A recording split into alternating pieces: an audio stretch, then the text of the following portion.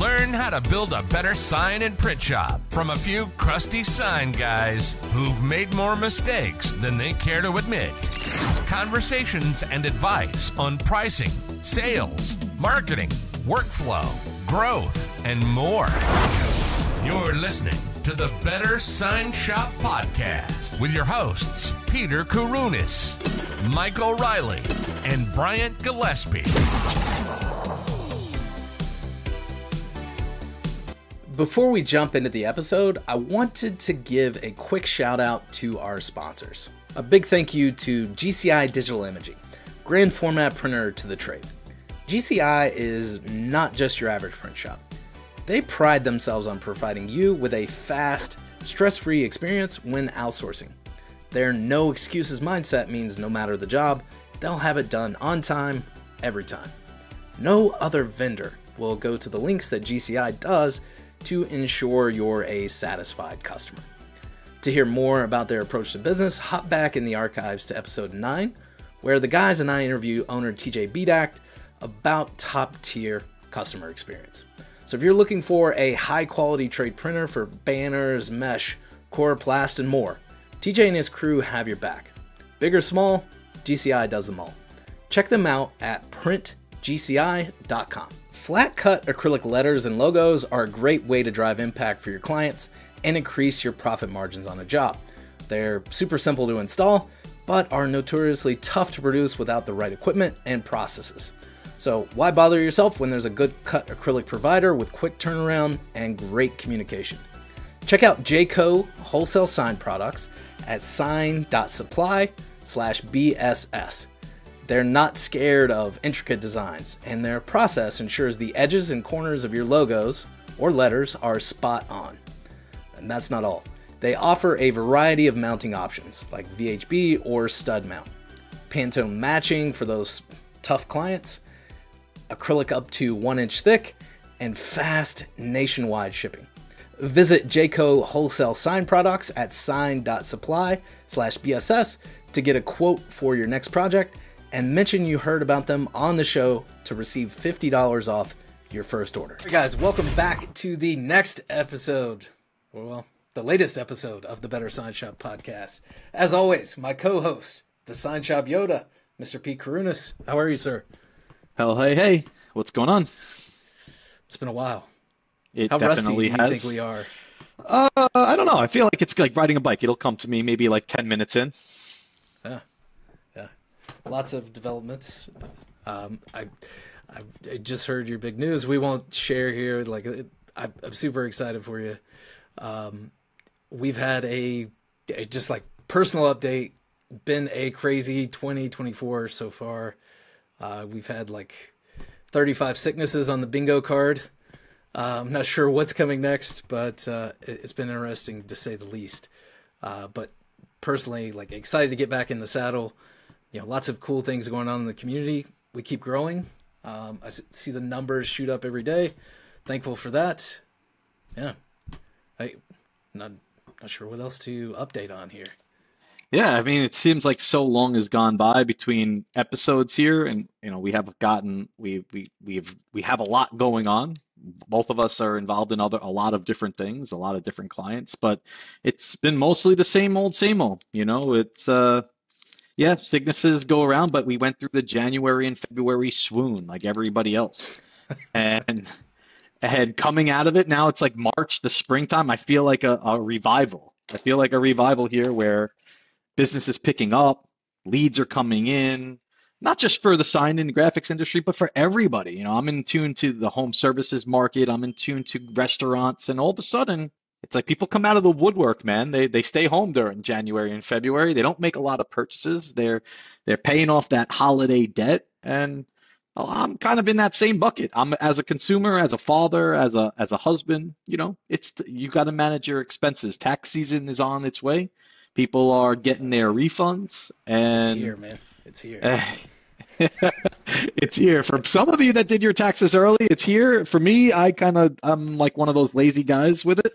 But uh, yeah, my refund check is on its way, and I'm going to be putting it back into the economy somehow, and that's what you know small business thrives upon. I, feel like uh, you know, my refund was a lot smaller this year. Thankfully, I didn't have to pay, but like, and like when you think about it, like you should be like that's less money that you were out of pocket throughout the year, but like getting that big lump sum at the end of the year, like is just like money found, and you're like, oh, you know, it, it's it's always is. uh, It, it is kind of. It is kind of found.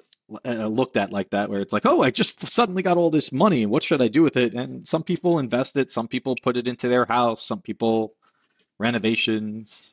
I know it Some just didn't feel some people as don't good do anything with it. this year. Oh. Like, hey, hey, you're gonna get like, I, I think it was like five hundred bucks. Oh, well, I have, you know, uh, let me just say this really quick before we, we bring in we bring on our guest here. I was having a conversation with a buddy of mine about this yesterday. Uh, at the time of recording this, the Powerball, the the I think it's Powerball. It could be something else. It's uh, what's the big uh, lotto? Uh, yeah, I think it's Powerball. I think that's what it's called. I've, I don't play lotto. I don't. I don't play. I'm hardly ever involved in it. But I tell my. I was telling my buddy this the other day. There is nothing like the euphoric moment of the daydreaming of what happens if you win. You know, here in New York, you, there's a slogan: you got to be in it to win it. You know, so there's like a heavy interest in getting New Yorkers to invest into, you know, playing the lotto. And it's like at this time it was like 750 million dollars, right? And it's like, okay, I'm gonna take an hour out of my day and think about what tomorrow could look like if I am the one that wins. And that euphoric moment of like, what would I do with all this money? What would I like? Would I close the business? Would I give buy a house for all of my friends, put them all on the same block, and make it like one constant party? Like at 735 million dollars, like it, it is not life changing. It's like five generations worth of life changing. Yeah, So the That's things that you could do with that, and I start thinking about like, okay, like you mentioned, what happens when Mr. Taxman says, ah, this year you made a $500 refund check. Well, what happens if Mr. Taxman says to you, hey, congratulations, you won $735 million? It's like, well, um, hmm. So I asked my wife this question. I said, who would be the first person you would call when you would win the lotto? And she, and you want to know what she said? She said, I wouldn't call anybody. yeah. was like, I, I'm like, I, I don't know where that comes from. I would call like everyone, my mom, my dad, my brother. She's like, no, keep it. I'm gonna keep it really close to the chest, and I'm gonna tell them, yeah, we won a little bit of money, but we didn't win the whole thing, and Yeah. I want to be classified anonymous. I'm like, wow, I really, w- I don't know why I married you. I, I, I got, I've got so much in common with your wife. Like I, you know, I've got, yeah, I, I, I would do the same. I would want to be super anonymous. Like I wouldn't, Really? wouldn't want anybody to know. No, hundred percent. you, you afraid like people are gonna look at you differently, or wh- what is it? It's just the hassle. Like, so uh, there was a guy in West Virginia years ago, and like we're, we need to get into the guest in, in just a moment. But uh, there was a guy in West Virginia. I think his name was Jack Whittaker. Like he won a, a giant lottery win, and uh, it's like we're we're like last in the nation for like healthcare and all these other indicators. Uh, You know, second to only Mississippi or something like that. But uh, he won this thing and it like destroyed his life. Like he, like his family members died. Like he ended up like overdosing. Like his granddaughter overdosed. Like it, yeah, it just wreaked havoc on this dude's life. Uh, I can't remember the total story, but yeah, it was it was like a life changing amount of money. And then like at the end of it, like before he died, he was like, "This is the worst thing that ever happened to me." Wow, I- I mean that's such an interesting take. I, I feel like he he probably didn't manage the money very well, or like you know, like that amount of money, like friends come around, family comes around, everybody wants a piece, um, and you you know you you've got to manage that certainly, but um, just one of those cautionary tales. You, you see those are like All right, so for those listeners out there, I did not win the Mega Millions. That's what it was. It wasn't called Powerball. It was Mega Millions. I did not win the Mega Millions. I am still here. I'm going to be doing this podcast here. But if you're listening and you did win, you know, maybe a little donation this way. You know, maybe Brian and I are putting in a lot of hours for free. We're working for nothing here, giving you guys really great content, giving you guys really good insights, bringing on guests. You know, hey, invest. Maybe we can make something happen here. Yeah. Let's. On that note, uh, super special guest today. Uh, really impressed with their work. Uh, let's bring him on, Mr. Jim Dawson. All right, welcome back to the show. We have got our extra special guest, Mr. Jim Dawson of Synergy Sign. Jim, big fan of your work. Um, like the quality and the craftsmanship really comes through. Um, welcome to the the podcast. Thanks for having me on. Yeah. Um, for people who may not be super familiar with your work, and I, at this point, I hope there's a lot of listeners out there that are. Uh, why don't you give us a, a, little background information about you and your shop? Yeah. So, um, I uh, started the shop in my basement 20 years ago. Um, basically, we started with a little Roland SP300 solvent machine and a laminator and a laptop, and uh, never dreamed it would turn into what it did. But there's been, you know, some things that that come up over the years that kind of changed the course of of the way we've went. And you know, from the very beginning, it's been me and my wife, and just out there, you know, drumming up business and trying to build things as good as we can. And um, so here we are, 20 years later, with a with a big shop and a bunch of equipment, and trying to just keep the machine running. So yeah. right off, right off the bat, I got to ask, what's it like to work with your wife? Uh, it's cool. It's cool. So we um, we made a role in the very beginning. It was she came to work here out of necessity. I had an office manager. Um, office manager had some family issues come up, had to leave, so I had her train my wife as kind of a stopgap um, until I could find someone else. And it turned out my wife was really good at it, so we get to keep that money now. So, so okay. And she's only here two days a week. Um, so it's not like you know I'm spending 40 hours a week with her at the shop and and we uh, we developed a rule very upfront that when we go home we don't talk about business. Um, do you abide is, by that rule? We do, we do. Wow. We talk very like I'd say I can count a handful of times whenever we've had to go. And typically, what it is is she has a friend that needs something, and and she'll say, "Hey, so and so needs something. Call them tomorrow." That's the extent of it. We don't really do business at home.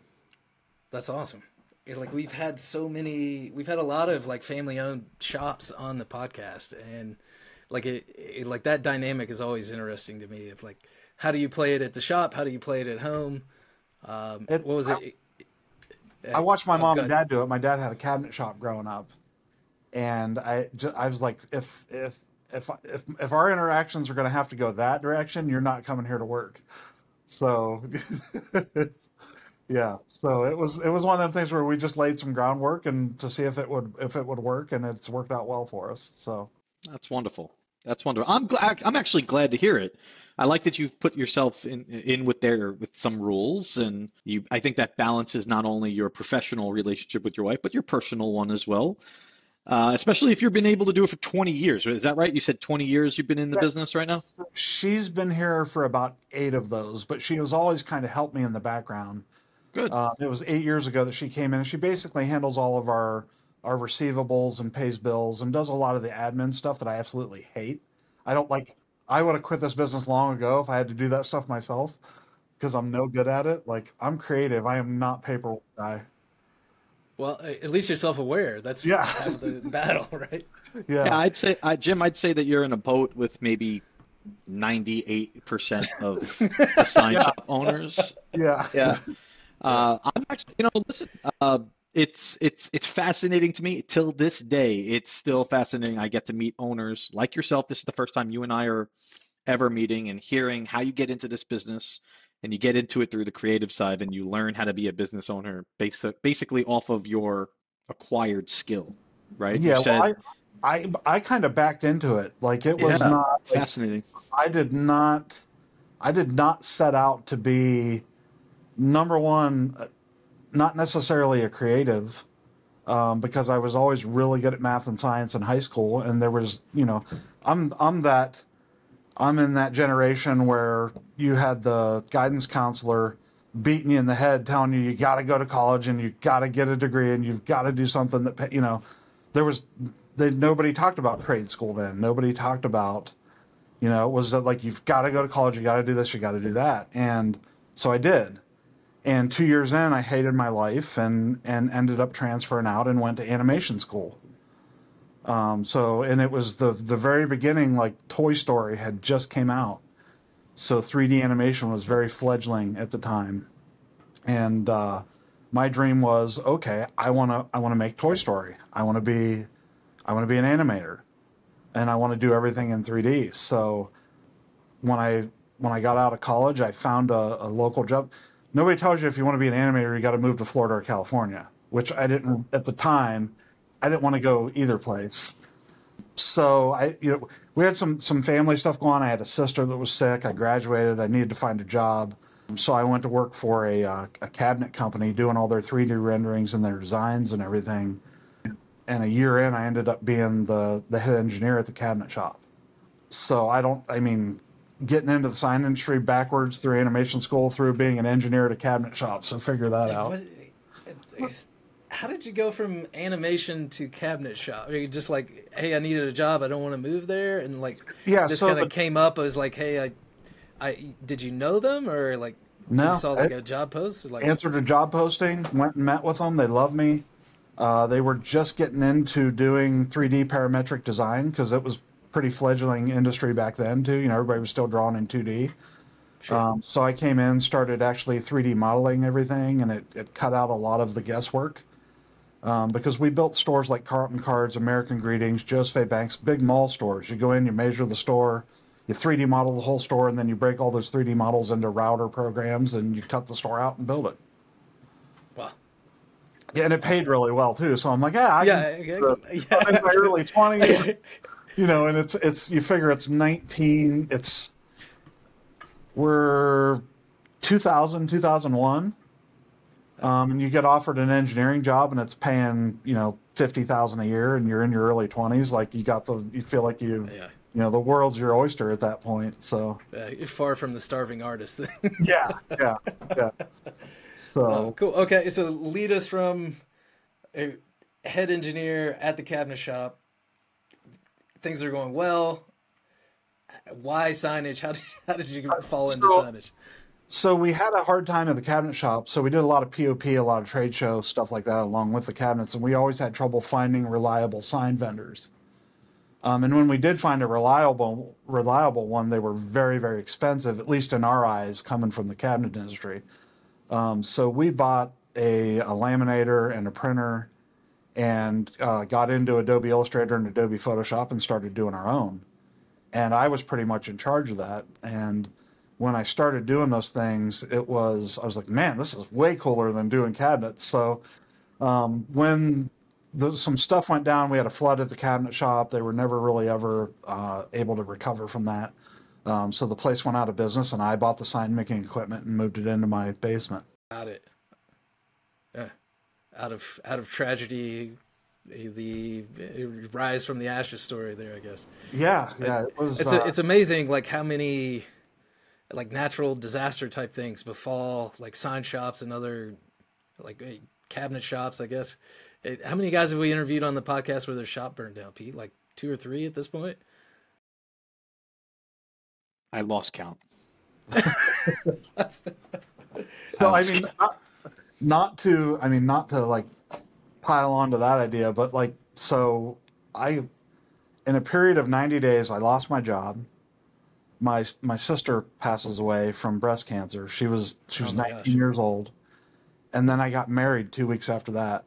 So it was like, there was like this, just as much turmoil as you could pack into a 90 day period.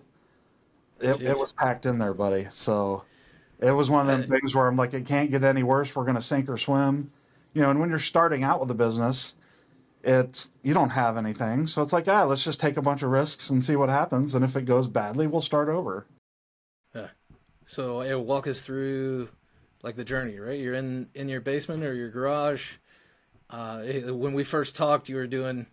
I, you mentioned to me like the two weeks of like polyester, like brush polyester decals that you were weeding out. like, So at that at that point, it wasn't we weren't weren't pick and choosing our work. It was we had a lot of contacts in the POP industry, and they have needs for small graphics and for things that uh, that go on fixtures and displays and things. So it turned out we got hooked up with the company that does all of the faucet displays at Lowe's and Home Depot, and um, it was Kohler faucets, and they needed these brushed aluminum, polyester cut decals to go on thousands of these faucet displays. Um, so it you know, it was every time they sent us an order, it'd be for like five thousand of them, and we probably would do five or six of those orders a year. Um, so it was it was two weeks of we'd invite people over for dinner. Hey, now that dinner, these decals. so, and be careful while you're doing it because yeah, uh, and, and, it's amazing when you got to do that many of something how you figure out like I can put relief cuts here and that makes my life easier, and I can put a relief cut here, and I can lay the sheets out this way so they're easier to trim to size and. So you not only was weed them and then mask everything and then cut everything to size because they had to they had to register them to the lower corner of the box. So registration had to be perfect. I mean, it was yeah, I'm glad I don't do those anymore. Yeah. So I, I like talk us through the progression. Uh, like, got your first customers. Like, you're moving out of your business or out of your house into a shop. You're hiring people. You you know. Yeah. So um, the first move we made, I was I was uh, I was approached by a couple local businessmen that I had done some work for, and they loved us. You know, loved the work. Nobody around. Like basically the there were no vehicle wraps around yet and there was a local guy that was like an old timer that had a Gerber edge. Um, so we were kind of changing things in the area, and um, they came to me and said, "Hey, uh, give us a value on all your equipment and everything, and we'll put that much in, and we'll help you get going, and we'll go into the business as thirds." I'm like, "Oh, this is a great idea. I'm gonna get a I'm gonna get a storefront. I'm gonna be able to hire some people. I'm gonna be able to get a new you know a little bit of new equipment and stuff." And um, I don't think we made it about a year, and I was done. Like they were, they just didn't understand the industry, um, and they didn't understand um, where I wanted to go, like what my goals and stuff were. Um, so I ended up I ended up buying them out with the help of a couple uh, family members, and uh, so we went ahead and, and bought them out, and then moved into um, a different business because I qu- figured out really quick that like having a having a storefront for my kind of work was completely unnecessary. Um, we just it was, a, it a common trap, you know, yeah. Of like, hey, like it, it, we're accessible, like we take walk-in traffic. Um, you know, a lot of those jobs are could be good, could be bad. Um, yeah. You know, what I found in my own experience was like a lot of the the walk-in stuff, like, hey, can you make this decal? Or hey, I want this for my race car. Like the classic example. Yeah. I'm going to put this on my car at the speedway, and you're going to get all kinds of work. And you know what kind yeah. of work I got? A bunch of other people that wanted free decals for their race cars. So, exactly. Yeah. yeah. Yeah. The walk-in was never like a you know maybe one out of ten. It was like a great source of of a good customer for us. But yeah, it sounds I, like like completely different opinion on that. But I, I, I would love to hear it because it has never worked that way for me. And maybe this is like a small town thing as well. Like yeah. A, what's like, the town? What's, what's the, town that you're from? Uh, so Strasburg, Ohio. We're about uh, give or take three thousand people. Our county seat in the county that I'm in, I think, is fifteen thousand ish. Yeah, um, you might be um, right. You might be right about that, Brian. Yeah, we were we were in like sixty five hundred people. Yeah. yeah. I think if I was in like if I was in like so figure like a Massillon or a Canton, which are half an hour from here, I think if I had a storefront city like that, where there's forty or fifty thousand, then I think storefront's important.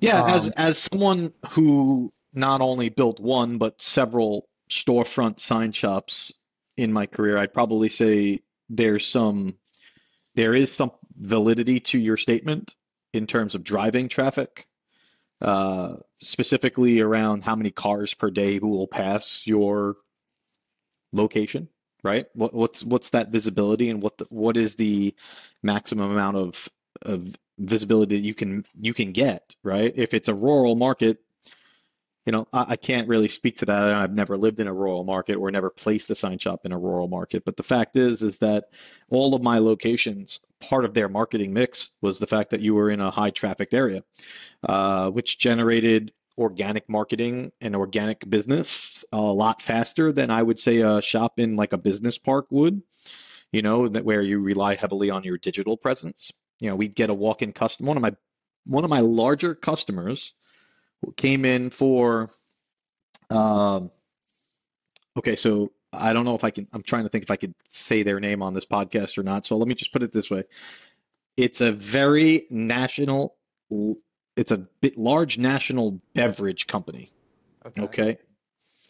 And they had these black vans, and corporate would send them their decals to be installed on these vans. And this guy just walks in and says, Can you take these graphics with this mock up and install it on this van? I said, Sure. You know, it was like 700 bucks. And I did it that same day. You know, so a walk in customer uh, turning into $700 worth of revenue without you know a, a, simple i would say our we had like a $10 lead acquisition cost at the time it was very affordable but you get somebody like that now all of a sudden that turned into oh i have five more vans being shipped can you do those also the same day and i'm i'm i'm in charge of getting vans like pretty much five a month so that was something that we counted on and it started with uh, a gentleman walking in and saying one time can you do this and can you do it today?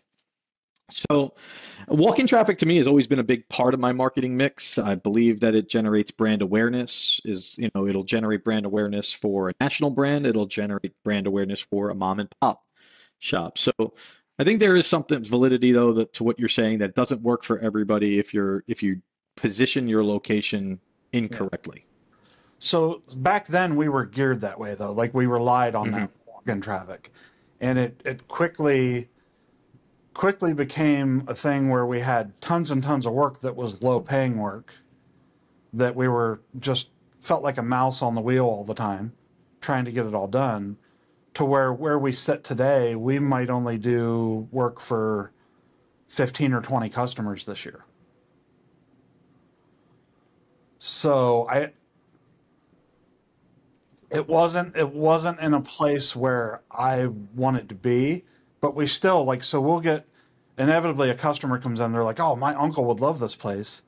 Bring them back. We still do we do tours of our shop. We do we, eh, people come That's in all great. the time. We, you know, we do our classes, all that stuff. Like I there's no secrets here. You can see all my stuff. I don't care. Um but that helps people know how crazy the stuff we do now is and inevitably they tell everybody they know, and then we get word of mouth out of that. But back when we were starting out, like we are just trying to figure stuff out, you know, you'd talk to 15 people in a day and do two jobs. And it we've never we've never had dedicated sales staff. It's it's me. And I only have so much so many hours in a day. Um, and I also have to run the CNC and the plasma cutter and weld up, you know, so it's just it was a conscious decision to to not there's enough commercial shops around now that take tons of walk-in traffic and that's great they can have that business um, i want to create i want to build the signs that are that are the cream of the crop at the top of that. For every 100 people we talk to we do work for five. Yeah. Hmm. I, I see I, like this is the these are the conversations i love to have just because it runs kind of counter to like the average shop that we we talk to of like hey we want to do as much good work as possible. Like we want all the machines we want all the toys we want to grow grow grow.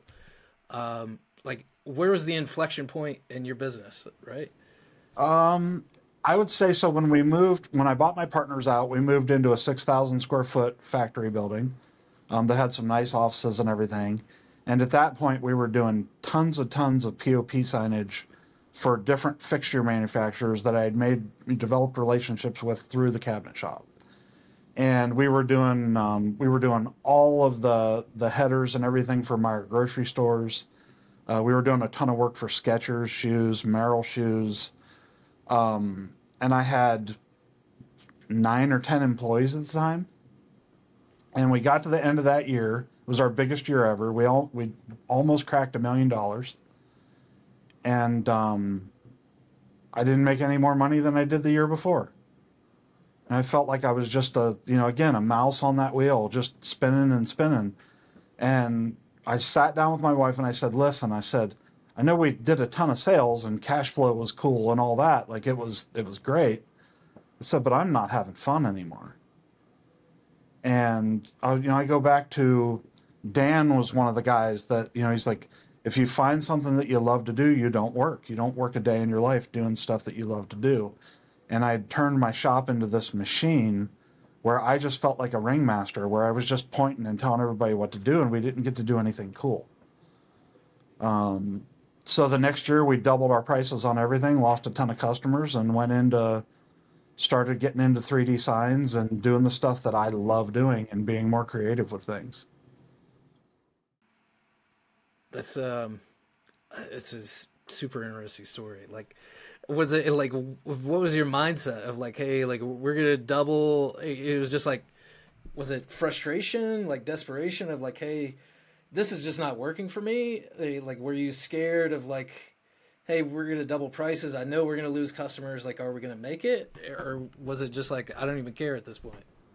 I rather than go on being unhappy and continuing on the path we were, I had to change something to change the way I felt about my business.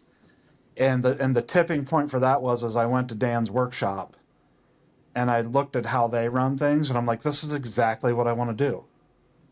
You know, this is 100% how I want my shop to be. So, hey, like, what were so you you did Dan's workshop? You come back, like eh, eh, these like creative projects are like raining down on you now, or like I, I'm curious to know, like, because there's a there's a lot of guys that we talk to. That's why they got into signage, you know, and we kind of like we find ourselves, hey, we're doing this work, we're doing that work. Things are things are growing. Like at, a, at the core, there's like the business side and the the artist side. A lot yeah. of folks, as Pete mentioned, like we we get into it because we can get paid and create cool shit at the same yeah. time. Yeah. Uh, so when we got back, we started building samples, and the thing that really put us on the map is we built a uh, a rusty gear um, that just came straight out of, straight out of my head. It was this gear with a chain that wrapped around it, and it actually functioned. You could turn it, um, and that that got picked up by Coastal Enterprises, and they did a ton of advertising with it. Um, it got published in a couple magazines. Um, and once we started putting pictures of that out there, we started getting a lot of phone calls. Hey, can you make this? Can you make that? Um, we started getting a fair amount of referrals um, through Coastal Enterprises with architects and things. Um, and you know now we've just got an established relationship with like half a dozen architects that anytime they run into um, these jobs where they want crazy carvings and stuff done, you know, we get that phone call. Is that your uh, target market to go after, like architects that are working on yeah, yeah, that's extravagant jobs? Is this the one? That's the one. That's so that's uh, six foot tall, and uh, multi. that looks that looks that looks real. Yeah, uh, it looks like it weighs like five thousand pounds, and it weighs like fifty. So unbelievable. Yeah, uh, but yeah, so we uh, that was actually bought by Multicam. Um, they gave us credit on our on our CNC router when our new one whenever we bought it. So that's in their showroom. I believe it's in Grand Rapids. Uh, wow. At Multicam Great Lakes in Grand Rapids, which they've since changed their name. And then that's the second one we built for them. Um, and that one's on display in their Cincinnati showroom. I, insane. Yeah, I just wanted to to show like the level of detail and like you know how this is so dramatically different than the average work. Um, because you you say uh, I saw Pete's face when you said like 10 15 customers a year and he was he's like oh no yeah i'm wondering uh, you know I, I, I, have so many questions around that uh, but i would love to get into a business where i own a third and know that i have 15 clients like that's it like that's yeah. all we're working with. That's yeah. that's a that's that's not only very easy to manage. I'm I'm assuming because it's very intimate relationships and it's not as chaotic as hundreds or thousands of clients uh, a year. But walk me through uh, if that's the type of work that you were doing or are still doing. Walk me through like the what is the expectations of your client even though you have only a few of them what is the their expectations how does it go through your shop what's the time turnaround time and what are expectations for them Do they give you creative control? It's, I mean, it's a give and take, but I, one thing I want to preface that with is we have been very lucky in that we have, we've got two, three clients that we do work for that basically cover our overhead. They are recurring clients. Um, we print a ton of safety signage and a, a just, it's the same thing over and over again, and it just changed based on the sites where they put them at. Um, so it all has to be custom, but it's the same thing every time with different wording, and that's all flatbed printed. And um, you know, we we typically sub out our flatbed printing. Um, so that stuff we design it, we sub out the flatbed printing. They come here, we distribute to the client, and it that gives us a lot of flexibility in how we can run the rest of the business. Okay, so two questions there for for I think you might have just given me some insight into one. Uh, how did you how did you acquire this client that that pays your overhead? Uh, super fast response. We got a phone call. Uh, the company was um, just moving into the area. They called ten local sign shops. Uh, we we designed, prototyped, and delivered prototypes in five days, um, and won the whole won the whole account for the state of Ohio. So this speed to this speed to lead approach, right? You got the initial inquiry out of the way. You were very quick with it. You um, did, was there any quoting or estimating involved, or is it? Uh, there was so the prototyping and the estimating all happened at the same time. So you because it was charged for a prototype? Uh, we we did not for the first run. You did not. Um, we just we just did it because we knew. I mean, just it's the oil and gas industry. They moved into Ohio ten years ago, and it was. I mean, it it was crazy. Um, so we we prototyped that first run. We set up a sales system where they can just fill out a spreadsheet, send it to us. We build all the signs. We pack that spreadsheet, and then we, you know, one of the big things was is when they moved in, they they were adamant that they had to have ninety day terms. And a lot of people were like, nope, can't do it. And I'm like, I'll take that account. It only hurts whenever you got to wait the first 90 days. Yeah. Yep. Yeah. So we were, so we were very, very accommodating with them. And we always, we delivered on time. And then when a couple of employees left there to went for other oil and ga- work for other oil and gas companies, we snagged them too. So we're doing like the three biggest oil and gas companies in Ohio now. to that. A lot, uh, a lot of my clients, a lot of my sign shop owners that I uh, consult with have have broached this question to me many times, and that's should I be looking at 90 day terms with some of my clients? So, what made, led you to say yes to that one client in particular? Um, when others si- would normally say no, you said I'll take that client, but what went into that decision? So we negotiated with them that as long as they were ordering stock items, they got 90 day terms. But anytime they did anything custom, they had to pay up front. Oh, so you customize the terms to the demand, to the need. Yes. Yes. Oh, And that's a very interesting strategy. Yeah, inevitably they ended up ordering a lot of custom stuff, and that really helped us float the 90 day terms on the rest of the stuff. Did you have to outline what was a standard item and what was a custom item? Yeah, Not too many people had- would know what that is. Yeah, no, they had like 15 items that were a standard off the shelf that we could just print and keep them in stock. And then anything that, that went outside of those 15 items was custom. Very interesting. I'm, I learned something here today with that. That's great. I never even thought in my career to tailor make the terms to the product deliverable. Interesting, interesting concept. So good. So you probably landed that client because they were like, "Oh my God, this company is going to give us the terms," and they're being very flexible. And I think that's the key word that I'll use there. You were flexible uh, in accommodating their terms. How many other clients do you have on on uh, terms like this? Uh, we have two others that, and, and typically they're typically we don't go out go out past sixty days with anybody, and, and one of them. So we've got two oil and gas that are like ninety day clients, and then we've got a sixty day client that we also do safety signage for, and then we've got a thirty day as well. and then like all the custom stuff is Yeah. you just separate and like paid up front. Like, Yeah. Yep. that's nice. It seems like you've got like the, this good balance of, and you said you're outsourcing all of it, right? What do you what what toys do you still have in house? Because it Uh, wouldn't be the episode if we didn't talk at, at least No. about what the toys. So we've got we have seven three D printers in house now. Oh wow, Yeah. Um, so we have uh, we've got a CNC plasma cutter that'll uh, do up to one inch steel, and then we've got a five x ten uh, multicam three thousand series uh, that does all of our our three D carving and everything.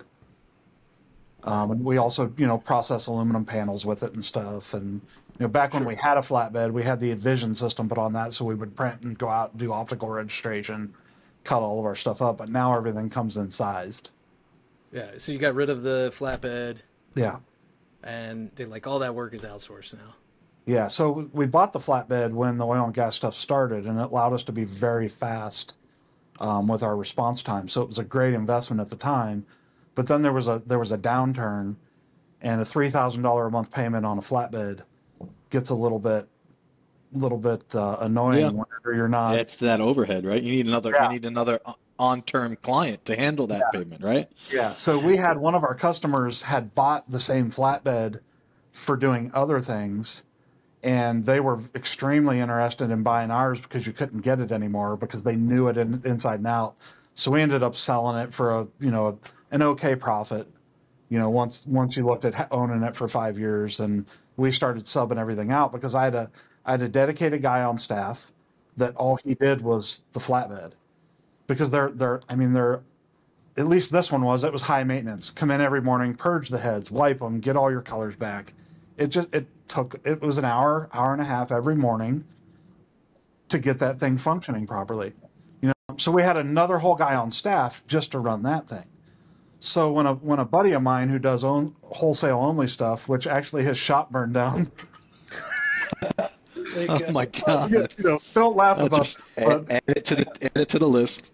a lady ran off the road hit the propane tank it caught on fire and burned the shop down Jeez. So uh, yeah Okay, that's So- crazy. yeah, he came in. He's like, "Hey, we're I'm setting up a new place. Uh, we're a subsidiary of this other company. I'm managing everything. Um, we're going to be able to do flatbed printed ACM and PVC and all this stuff for for X amount of dollars." And when I sat down and looked at our what it cost us to get the material, to keep the machine running, to pay for the machine, I, it, I mean, it, we're paying like fifty cents on a dollar of what we were not doing it ourselves. So it was like, get this thing out of here. We're subbing flatbed print out from now on. Well, and I, I think eh, like in this day and age, eh, like eh, there's a lot to be said for having the equipment in house, but like if that's not what you want to do, that's not like that doesn't that's not where you bring the value. Uh, you know, if that's if that's not your ideal shop, like there's so many good partners that you can outsource that to, and the equipment just becomes cheaper and cheaper and cheaper and They're 20 minutes from my shop. Like I don't even have to pay shipping. I run up there once a week and I grab everything. Well, that was going to be my next question. Where are you outsourcing this to? This is uh, somebody local or a national yeah, company? So, they, have got uh, four five meter machines and two uh, two flatbeds. Their one flatbed will do like 100 sheets an hour. I mean, it's it's crazy fast. So they do all of our yard signs, all of our printed ACM, all of our printed PVC. They do backlit faces for us. Um, any of that stuff that we just that we're just not interested in doing here.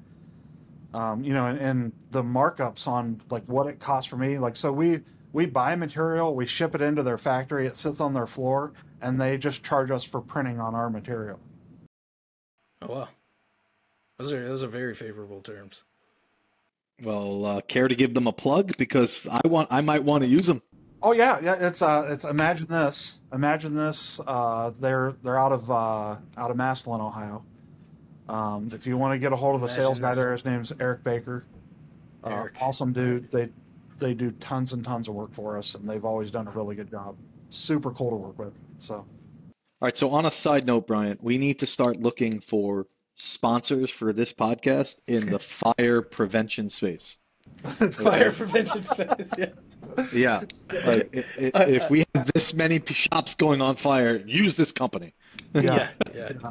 I, I, it just crazy. The like I said, yeah, I I never would have expected Jim to throw that story out there, but yeah, it's, we've interviewed saying- quite a few. And and it's I, I just can't believe how many people this has happened to. I mean, like, buy yourself a fire extinguisher for crying out loud. Do yourself a favor. Public service announcement. Put a put a fire extinguisher in every room of your shop. In fact, I got to tell you, do you ever have uh, this is kind of like our off off the cuff question, but do you guys have like those fire suppression people coming into your shop door and saying, "Hey, you, know, you need to get your tags put on your your fire extinguisher, and it's going to cost you a hundred dollars." Do you have that? Oh my God! So in New York here, I guess this is a New York thing then. Like there, there are companies that go into your business and say, uh, "Let me check your fire extinguisher and see if it's expired," and they and they do expire, and if they expired, well, guess what? You could get fined for that. So they like charge you a hundred bucks to put a new service tag on it to say that it works. It's the most ridiculous Oh, business wow. model. Yeah. It's to prevent you from getting fined by like the state or, or county or whatever. I thought that that was everywhere, but th- I guess it's That's- just friggin' New York. It sounds like protection to me.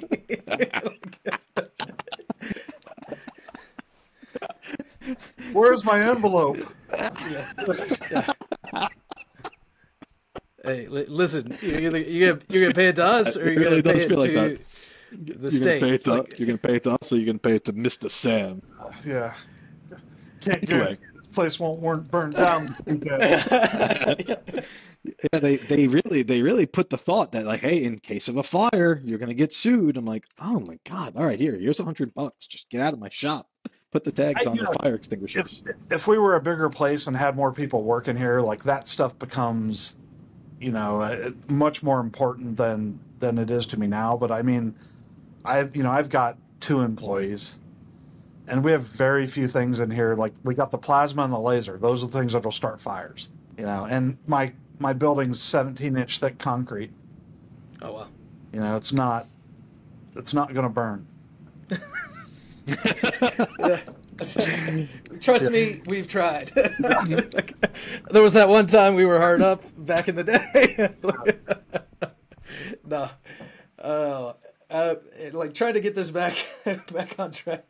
I, like walk us through like it, we talked about the clients that are paying the overhead. Like walk us through these creative projects. Like uh, you're working with architects. Uh, imagine uh, probably a few other folks. Like how do those projects progress? How do they come in?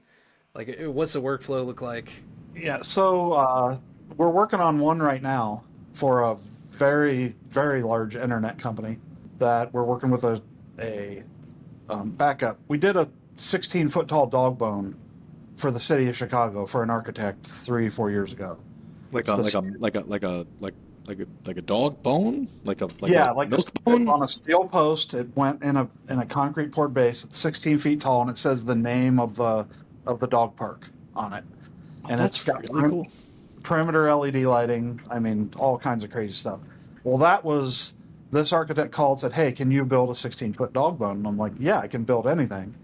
You know, and like like everything, you hang up and you're like, "Okay, I got to figure out how to do this." So, um, yeah, and that and that is that is all of our our custom jobs. Like everyone that comes in, it's like I got a good grasp of how to build things, but everyone is so different that it there a lot of research and figuring out what's the best way and and how can we make it cost effective. Um, so you know we did the we did the dog bone. Um, we didn't do any work for him for probably it's probably been two or three years, and he called me up. He's like, "Hey, we've got this client in Austin, Texas. Uh, we we need to do these things. Um, we're going to send you some files. Let's prototype it."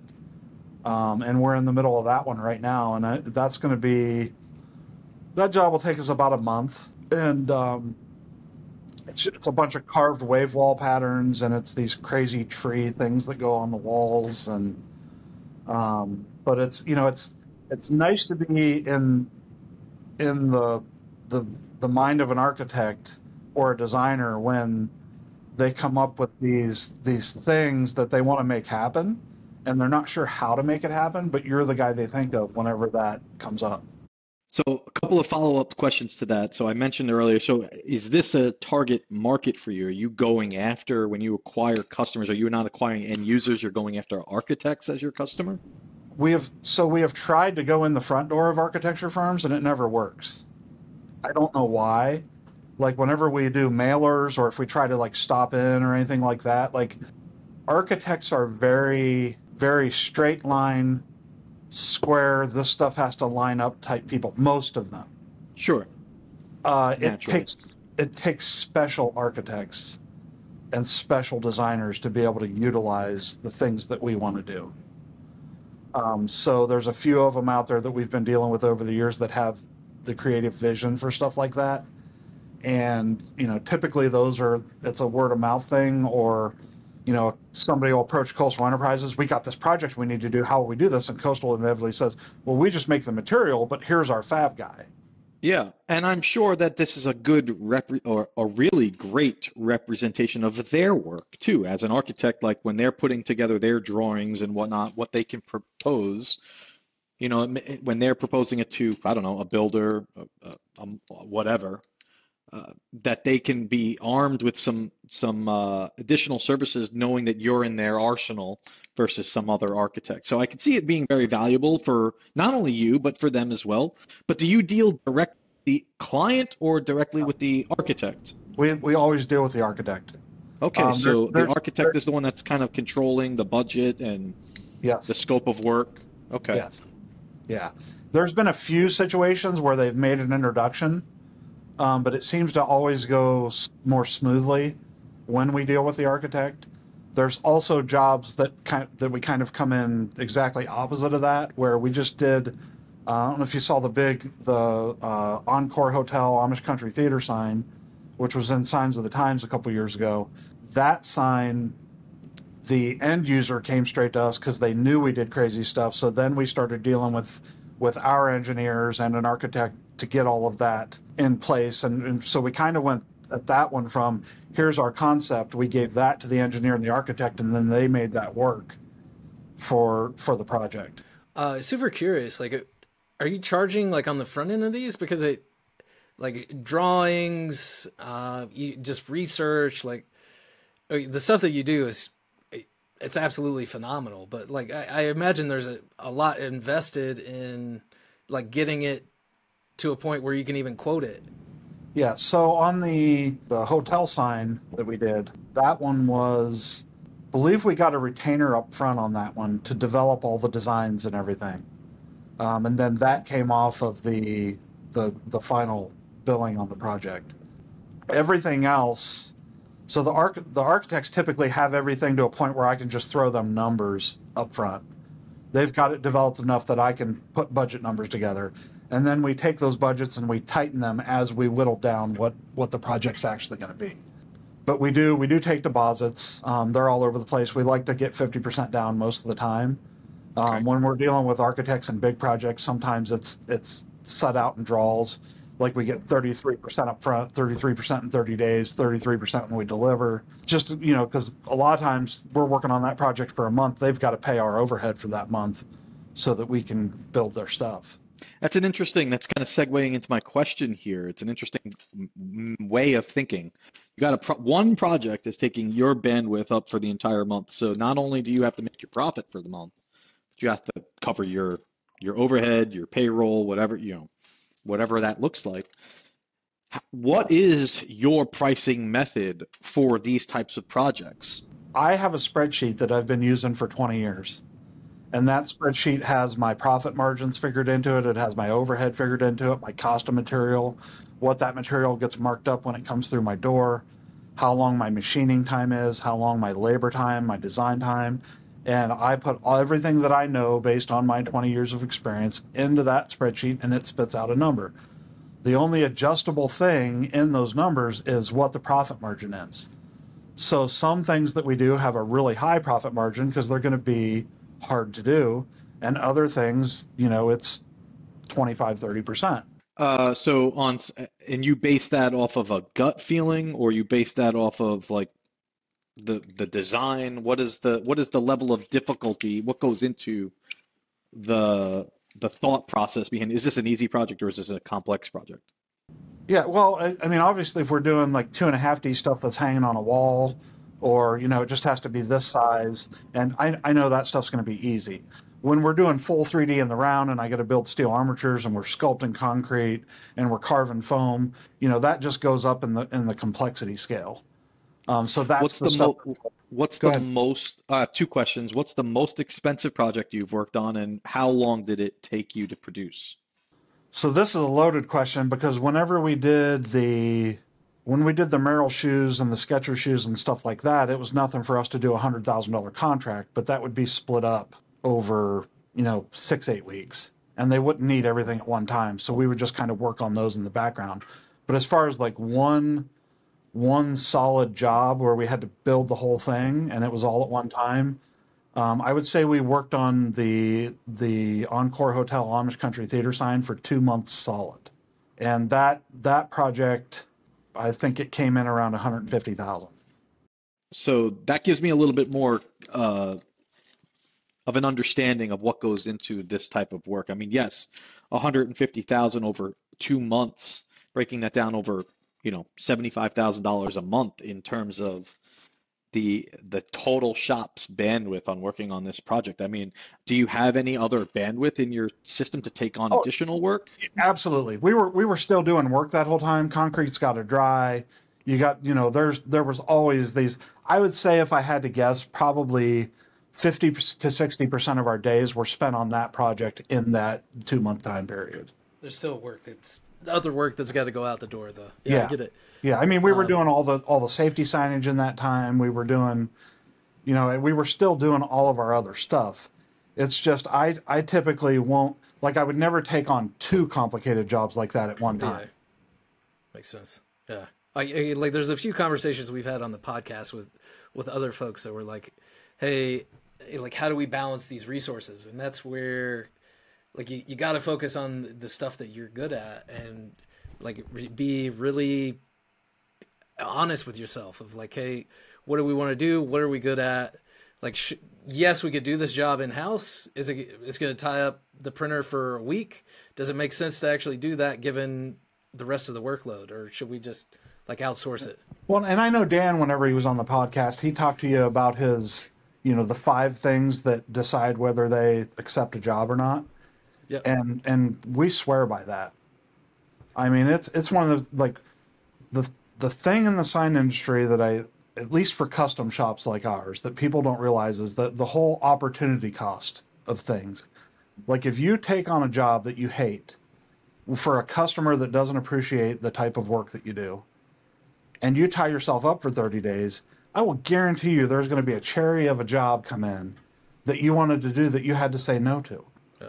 You know so it's, it's that whole checklist like are, am i going to make good money do i have creative control um, do i have time will they wait you know that whole checklist that dan goes like it works Uh, I will have to link back to that episode in the show notes. um, I want to, uh, hey, like, get you uh, on the soapbox, Jim. Uh, you know, you do the workshops. Uh, you know, we had previously discussed like the HDU project, but uh, like, if we, like, is there anything you want to get on the soapbox? Like, you've been in the industry a long time. Like, is there anything you wanted to, like, explicitly say to listeners out there right now?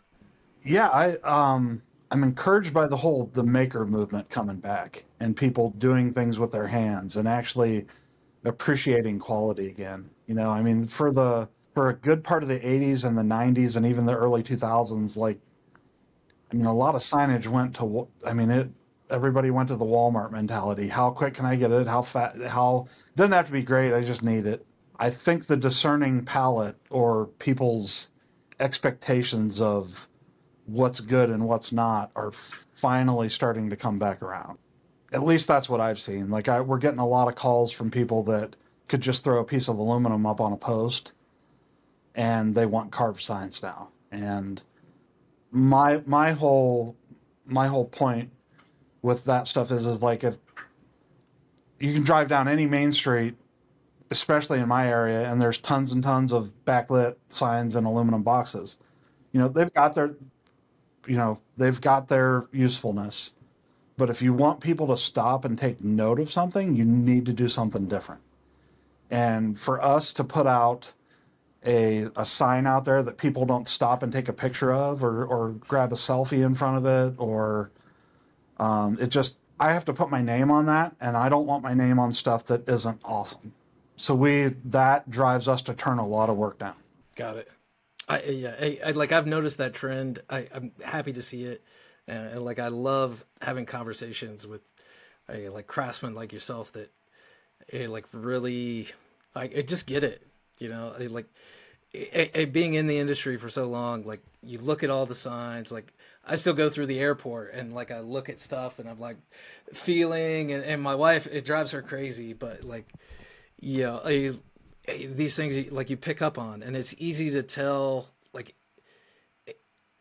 like it's measurable in people, like the reaction that they have to something like the the pieces that you guys do and Dan does and Shane or, or Jace uh, Fox, like their stuff, like it it generates these emotions versus like the the flat panel red lettering. It just yeah. yeah it well, just that, doesn't generate that. That was our reason for starting up the sign invitationals. You know, Dan Dan and I were in Colorado teaching at a uh, at a Enroute seminar, and um, we're sitting on the grass outside eating lunch, and I looked at him. I'm like, I'm like, you remember when you guys did the the um, the sign contest in Signcraft that was the mechanical fish contest? And he's like, yeah. He's like, why don't we do that again? like let's just let's just invite 20 amazing sign makers. Let's give them a prompt and see what they build. And th- and that was the beginning of the sign invitational. And it like that first one that we had man oh my gosh it was the who's who of like it was when we showed up for that thing like it was you know because we had we had peter Poanessa there uh, roger cox myself dan uh, doug hancock was in it. Like we had all of these people that like just made awesome dimensional signs. And the amount of traffic in that booth that day from even people that just do, you know, aluminum channel letters and stuff that were like, oh my gosh, this is amazing. You know, so it, we kept it up for three or four years, and COVID ended up killing it because we didn't have a trade show for a couple years. And yeah, I, I, like I would love to see you guys get back to it, but yeah, I, I can remember seeing all those projects in I, I don't think I made the the shows, maybe one of them, but I, I can remember seeing them in the magazines, and I was like, holy, like this is this is the pinnacle. Yeah, it um, kind of blurred the line between prop making and sign making and, and sure. sculpture, and but that's like that's that's my happy place. You know, like I like we're doing we're doing stuff with signs now that like that's what we've got seven 3D printers here. People like show me a sign shop anywhere that's you know, I mean, I can name you a few guys because I've been watching them online, but nobody's doing that much stuff with it. Right, right. Absolutely. Yeah. You know, unless you, unless know. you've got 300,000 to put in one of those Massivit machines and just print six foot tall sneakers. And, you know, that's, that's yeah. stuff that we'll look at, like, you know, at subbing out whenever a job like that comes if we can't just sculpt it. But, you know, I, I have a sculptor on staff now. Um, so, you know, he does, he does a lot of that that work for us. So we'll sculpt stuff in clay and then we'll 3D scan it and then then we can clean it up in uh, on on our iPads. We usually do a lot of 3D modeling on the iPads now, and uh, then we send it out to the 3D printers and we make copies and things. I, it's just such a different like slice of the industry. That's it, it's like one, one of my favorite things about the podcast, and I, I think Pete agrees. Of just like seeing a different slice than than what we were in and being able to to learn uh, of like how you run your business. Hey, like hey, I think we're we're closing in on time, but uh, tell us about the workshops. Tell us about the like the HDU material project, like company you're you're starting. Okay, yeah. So the uh, the workshops we try to do those twice a year. Typically, they're in May and October. Uh, if anybody wants to go check it out, it's at uh, uh, signalchemy.com. That's what we call it because we're taking piles of junk and turning them into gold. So, um, yeah, so that that's the class. Uh, it's a it's a two and a half day class. Uh, you learn more than you would ever want to in two and a half days, and we send you home tired and and wondering about your existence and if you've made the wrong choices. and so, So is it is it just about like sculpting and, and like 3D signage, or so we do both. The the one we do in the fall is a little bit more heavy into. Um, we've got everything basically carved already, so it's a lot more embellishing and painting and doing special effects like my rust effect on the gear, uh, things like that, just to just to help people develop a repertoire of, of finishing and different ways to do things. Um, and then they also learn a fair amount of sculpting, and, and we touch on making molds and casting and what you do with your 3D prints and all that stuff in that workshop too. Now, our one that we do in May typically is real heavy armature, building your armatures, uh, covering those armatures, putting concrete on those armatures, sculpting uh, on top of that with with uh, fiberglass reinforced concrete. Um, so the, the it's we try to keep them separate so that if people want to come concentrate on one, they don't have to be bored with things. So we do two and a half days in the fall, two and a half days in the spring. So th- this spring will be the concrete will be. Um, I don't know if I showed you pictures of the of the the playhouse that I'm building for my kids. That's straight out of Gal- Star Wars Galaxy's Edge. Like it's huge. It's 30 feet tall. Tons and Oh, tons wow. of sculpted concrete, steel.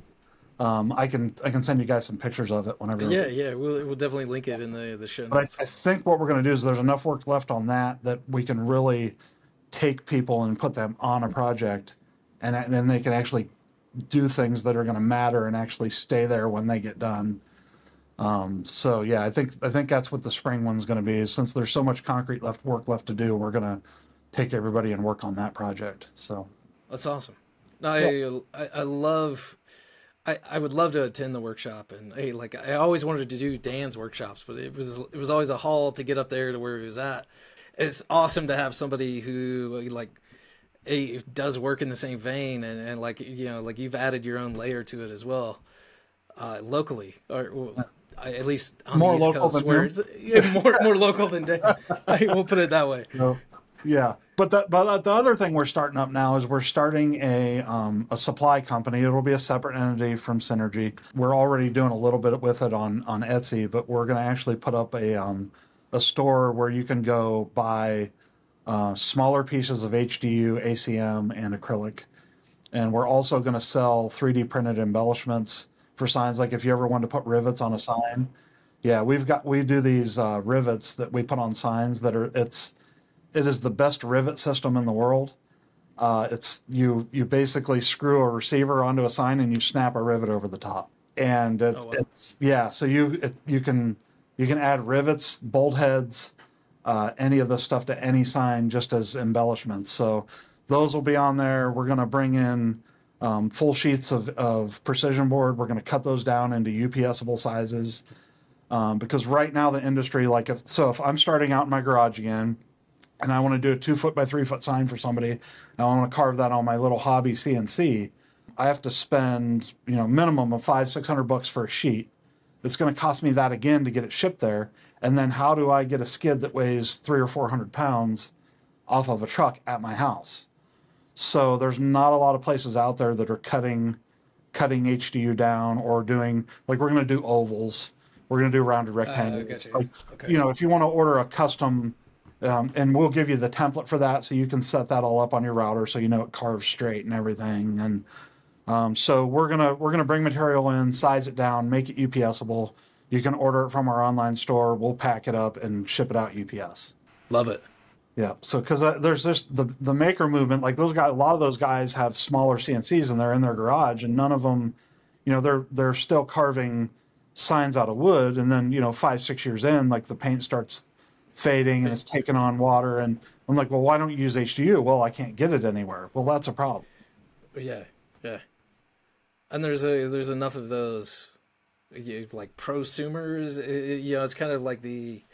i- Is it like hobbyists, or is it like people who are trying to like you I would- sell? You just like handmade, like you know, like So you hey, got- just, you got just the- producing. you've got people that are in that gray area between between just starting up and actually running one heck of an Etsy business where they sell a ton of stuff on there. You know, that, it's a problem for them. It's a problem for sign shops starting out. Like I remember when I ordered my first HDU order, like thankfully I was established enough then that for me to call and order 10 grand worth of HDU wasn't a huge ordeal, but it would have been like five years before that, it would have been, you know, I, I would have never got started. You know, like it's that's spending 1200 bucks on a sheet of material and putting it up on your router is you want to, you know, there's times when you screw up a $1200 sheet of material starting out that it's the end. Yeah.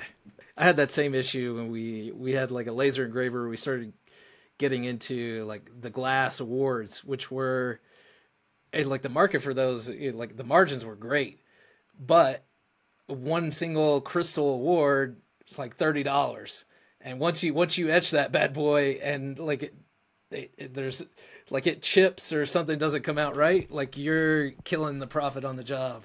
Yeah, well, and what if you've just got an operator there hitting the go button and he doesn't know what looks really good or not? Yeah, exactly. You know? Yeah, it's scary. Well, that sounds like an interesting project. Do you guys have a website or up, anything up for it yet, or no? Uh, no, not yet. We're still we're still working on. I've got some names that we're making sure everything's available for, and uh, once we get that all set up, um, we've got uh, we've we've got our distribution all set up for the other company um, and stuff like that, so we know where we're going to be getting our materials at and everything, and and so that's going to be. Um, we're also going to be selling tooling on there as well. So uh, we have a really good really good uh, relationship with XEdge. We've been working with them for years, and we've actually designed a few tools that they sell. And people call me all the time, "Hey, what what tool are you using for 3D carving?" Because there's you know there's these eighth inch bits out. You want to use an eighth inch ball end mill to get really nice detail. And if you put an eighth inch ball end mill in your in your machine and you carve two inches deep, it snaps off. It's not. So we designed a tapered head mill that because of the taper, you're not you're not carving with the taper, but you're giving way more strength to that mill. And so we've we've developed a good relationship with them. So we're going to sell those tapered heads, and we're going to do some some collabs where we like these ten bits are what you need to start doing 3D carving, and we'll sell that as a set. And so we're going to do some stuff like that as well. It's super interesting to see like your path from like, hey, super generalist, like the average.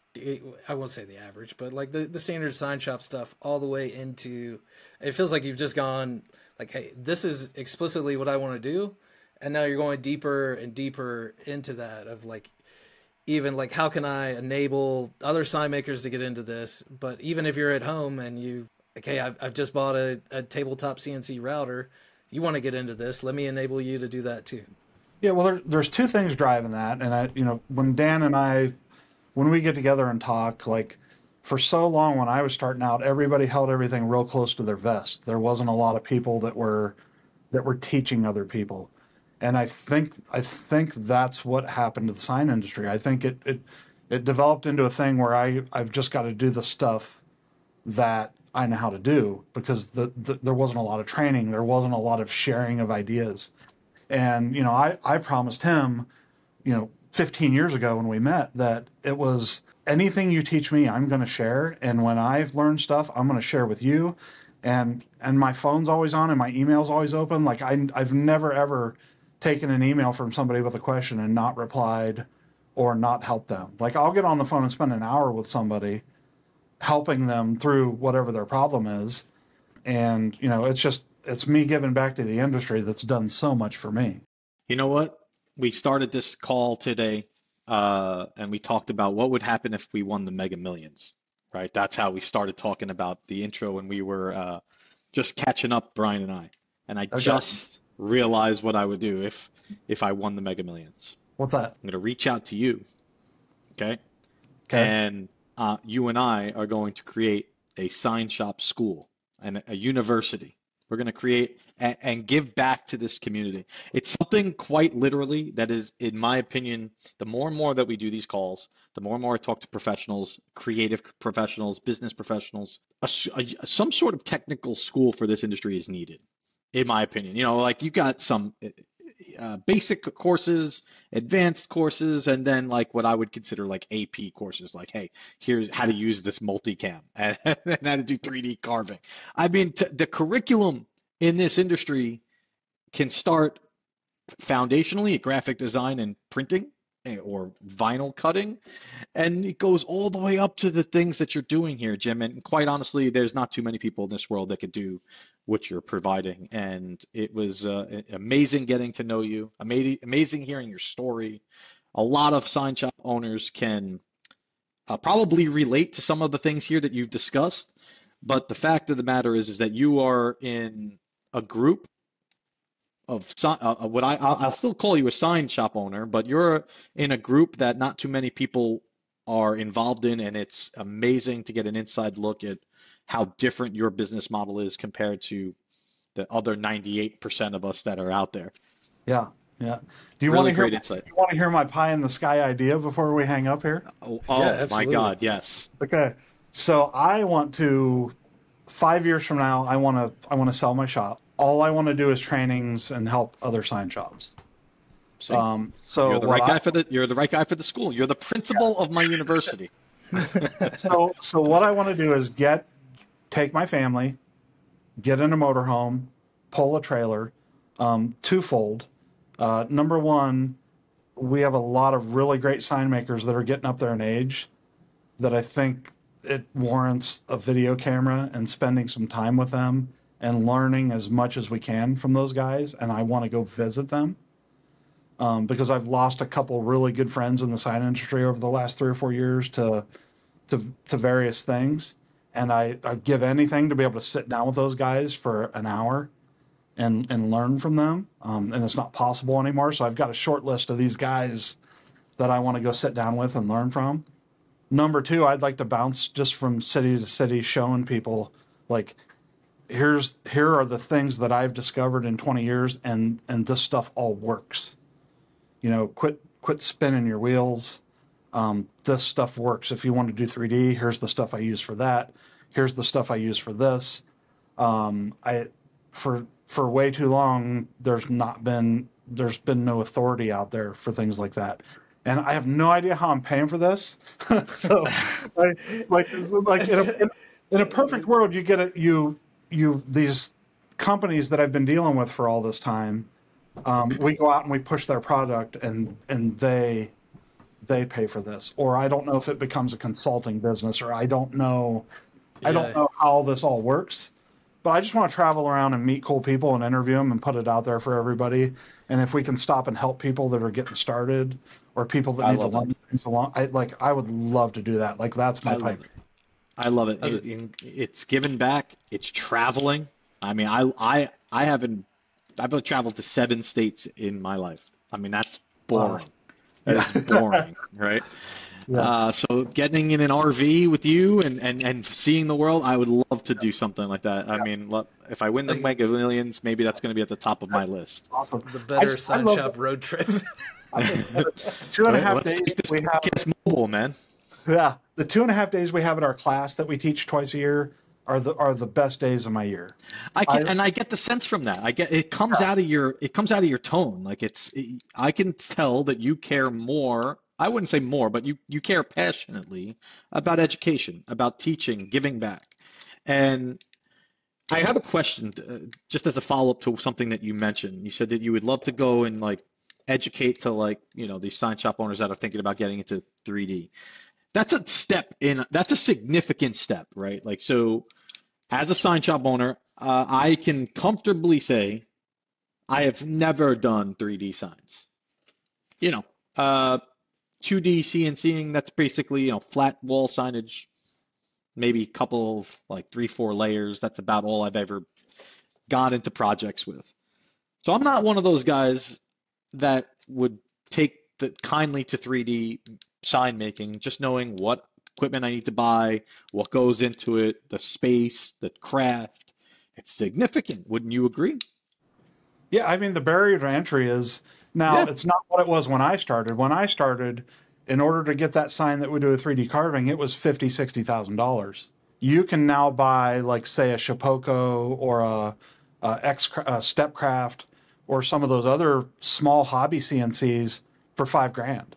Um, so it's it's it's dual. It's Yeah. the barrier to entry to getting now where where you differentiate is not everybody can see things in 3D.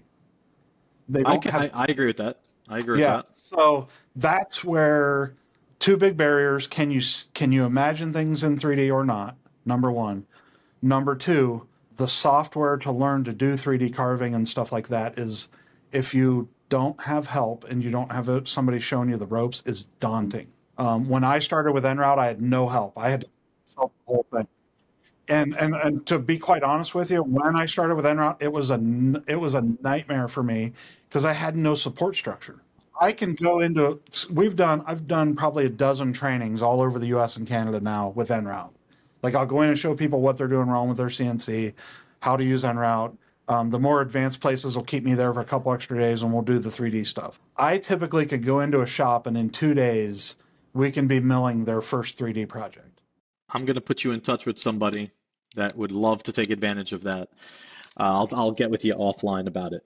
Jim, we're just about out of time here. Thank you so much for for jumping in and giving us your story. I loved this interview tremendously.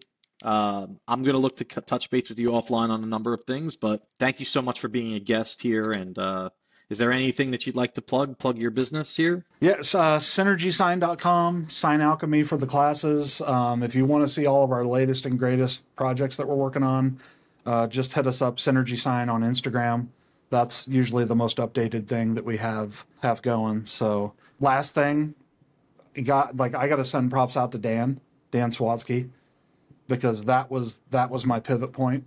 Um, I went to that class and and literally changed the trajectory of my business. And he's been a great friend and a great mentor over the years, and and that's what I'm looking to start doing for the next group of people coming up. So Dan has been awesome. I want to pay that back. So that's that's why I, I want to do these classes and everything. So there you have it, Jim. Um, amazing man. I knew this was going to be a good episode when we had our initial conversation, and I'm I, am i am sorry it took us so long to coordinate, but well, I was so start- happy that we did. I was starting to think, I'm like, well, you know, I uh, I talked to Bryant and. Uh, he said he'd be in touch. I, maybe I'm just not that interesting.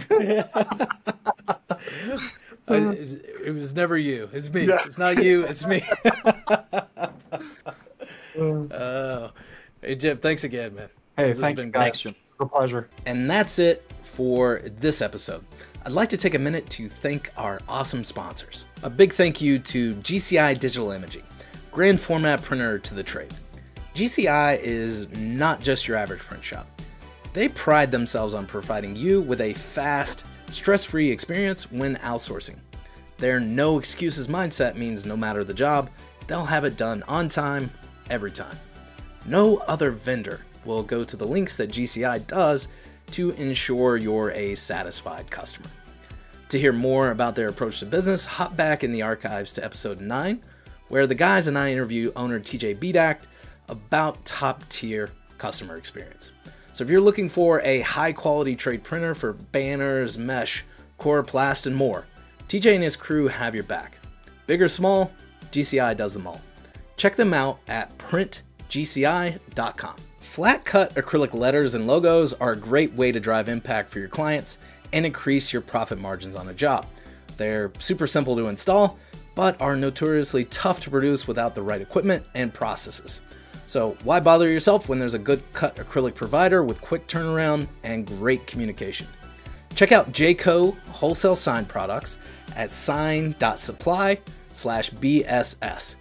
They're not scared of intricate designs, and their process ensures the edges and corners of your logos or letters are spot on. And that's not all. They offer a variety of mounting options like VHB or stud mount, Pantone matching for those tough clients, acrylic up to one inch thick, and fast nationwide shipping. Visit Jaco Wholesale Sign Products at sign.supply slash BSS to get a quote for your next project and mention you heard about them on the show to receive $50 off your first order. If you liked this episode, make sure you hit subscribe to get all the latest episodes and check out our website, bettersignshop.com. Get free resources and helpful tools on growing your shop. Thanks for listening.